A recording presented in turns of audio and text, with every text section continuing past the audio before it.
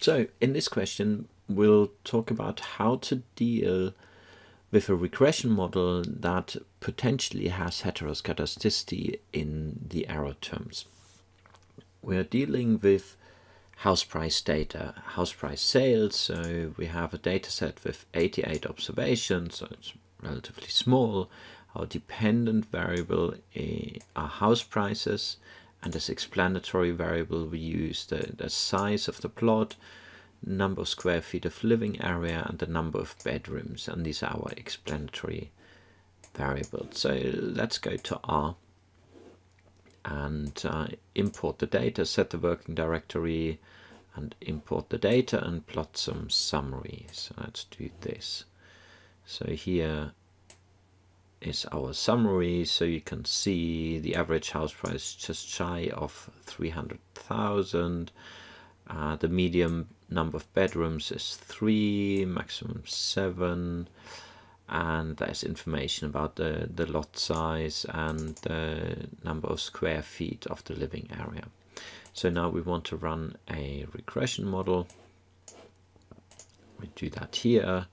We get some estimated coefficients. So an intercept, lot size, square feet, and number of bedrooms. We can see that two of those, lot size and uh, square feet, so that's the living area, appear to be uh, statistically significant. Let's firstly check whether we got it right. So what we want is that the coefficient to the lot size is 0.002068. And is that the case? So lot size here we have what it says here is 2.068 and then e to the negative 3. That means we're moving the uh, decimal point three positions to the left. One, two, three, and that will then be 0.002068 as required. The question we shall tackle now is the question of whether there's potentially heteroscedasticity in our error terms. How would we investigate that? And we uh, briefly introduced two ways, a graphical approach and a hypothesis testing approach. So let's begin with the graphical approach.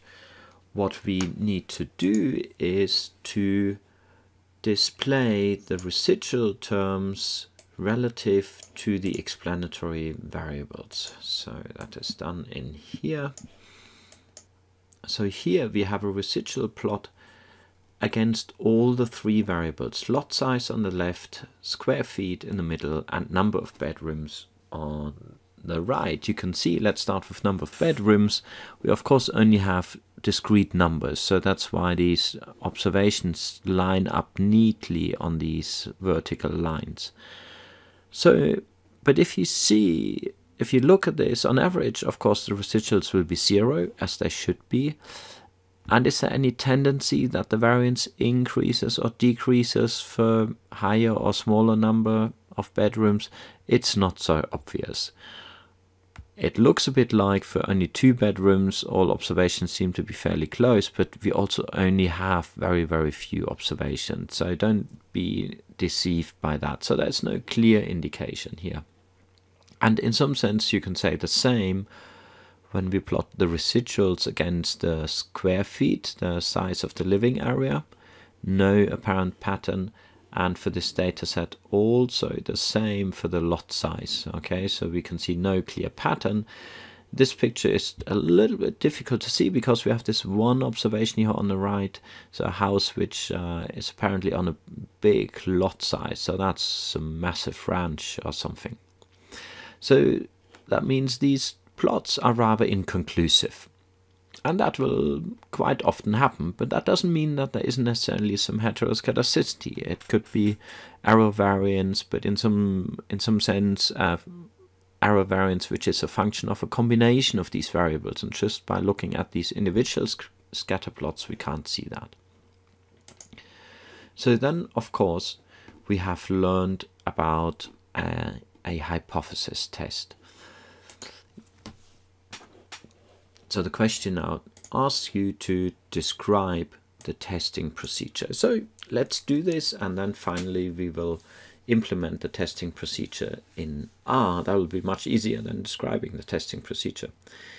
But let's see. So we have our regression model and the house price. So let HPI be the house price of the IF house and then the other three variables we shall abbreviate as uh, x1, x2 and x3 i with their respective coefficients alpha 1, alpha 2 and alpha 3 and we have an error term. So you can think of the lot size that could be x1 number of square feet could be x2 and the number of bedrooms could be x3. So the testing procedure will in a first step estimate this model by OLS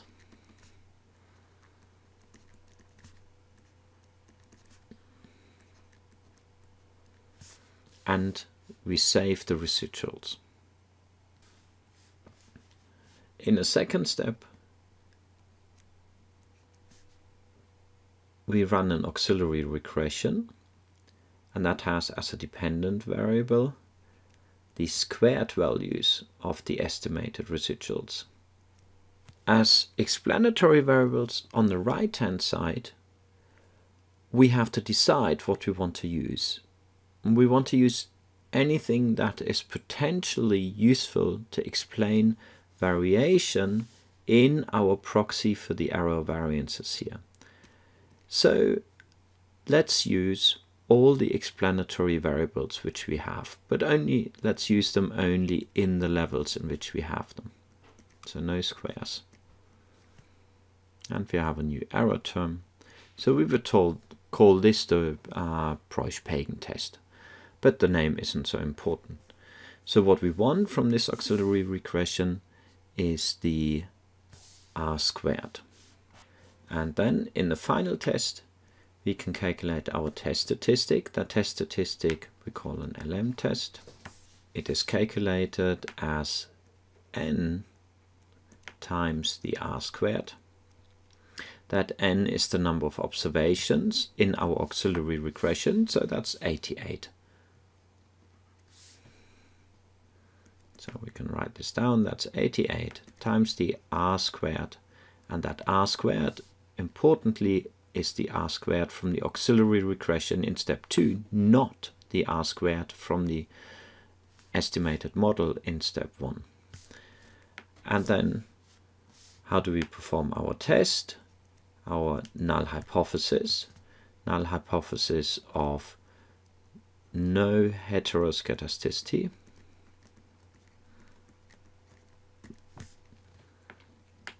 is that all these three coefficients are equal to zero, indicating that none of these variables on the right hand side can explain variation in the dependent variable, which is our proxy for the error variance.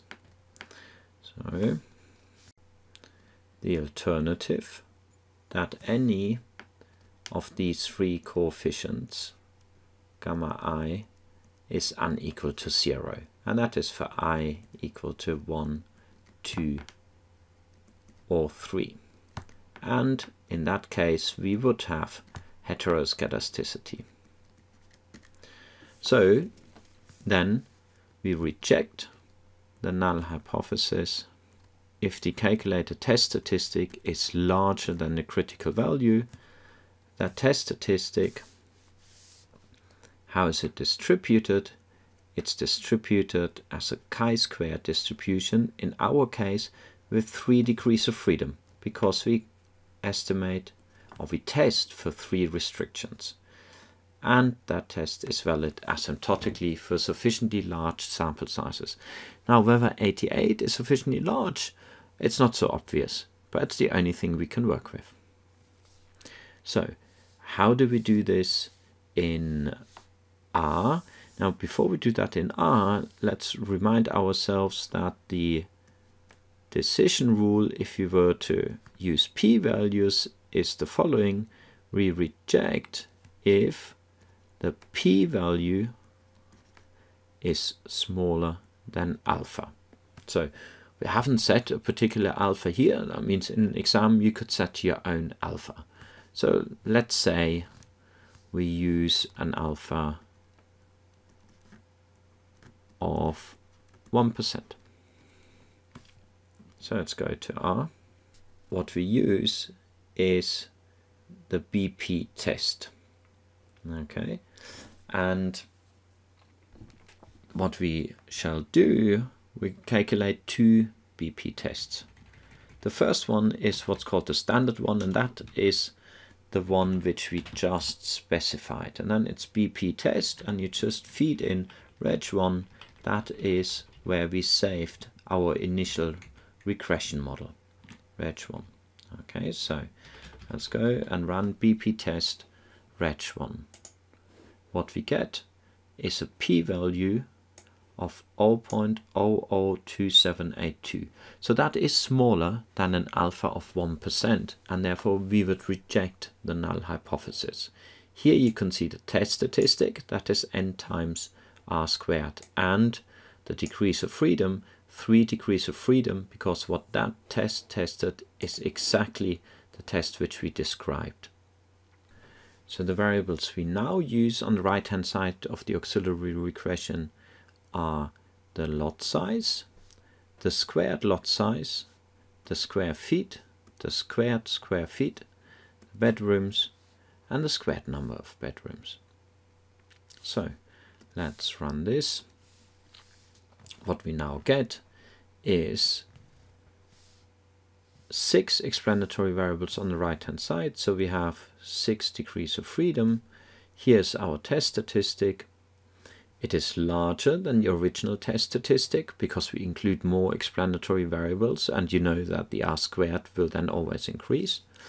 Our p-value in fact is about the same right? because we also increase the degrees of freedom but it's still smaller than 1%. So we should we will still stick to the same decision.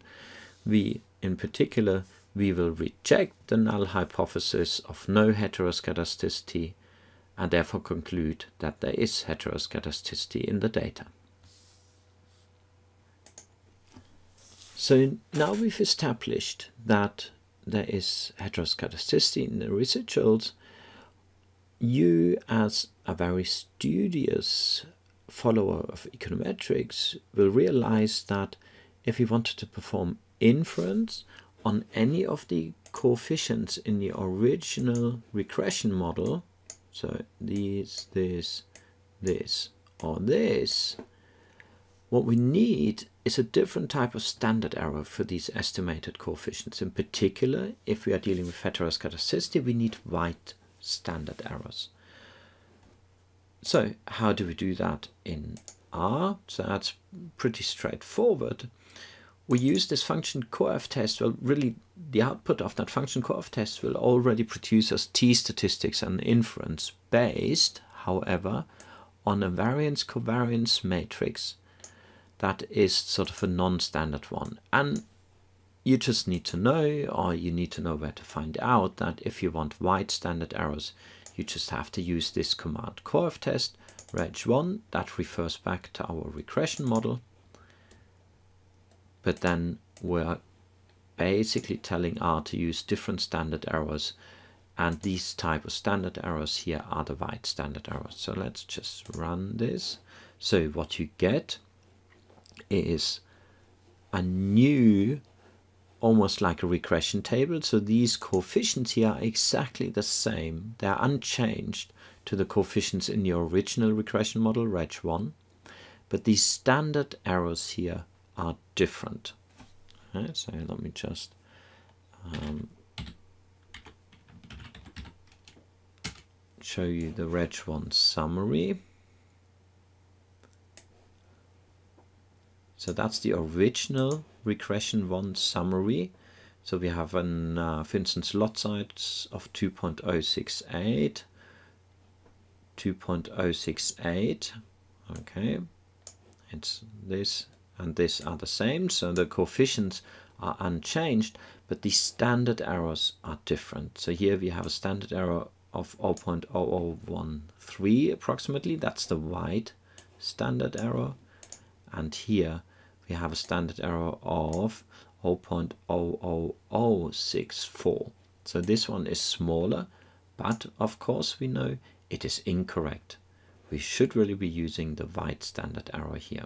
So here looking at our sort of regression output or at least the coefficient part using white standard errors we can see that now only the number of square feet so that's the size of the living area that is the only statistically significant variable whereas previously we also said that the lot size itself is statistically significant now however that has a p-value of 0.1022 so that is a p-value not smaller than any of our usual alpha values. The last part of this question, part 4, asks why we would consider a weighted least squares estimation of the regression model in equation 1. Recall the regression model, not in equation 1, in part 1 of the question. That was the model described above and represented here in step 1 of our testing procedure. So why would we do that? We found using the testing procedure, the white test or the uh, pagan test, whichever we used, we found that the error terms are heteroscedastic. So that means when we estimate these parameter coefficients alpha naught to alpha 3 by OLS, we will get parameters which are still unbiased, but not efficient anymore and weighted least squares estimators, the estimation type mentioned in part 4, is a specific form of a generalized least squares estimator. And we have learned that in principle we can use a generalized least squares estimator to obtain an efficient parameter estimator for a regression model in which we have heteroscedastic error terms. So that is why we would consider a weighted least squares estimator. What you need for a weighted least squares estimator is a variable that you can reasonably assume is in some sense proportional to the standard error of the error terms. Okay, so we need the, the variation of the error terms. We need a variable that captures the differences in variations of these error terms.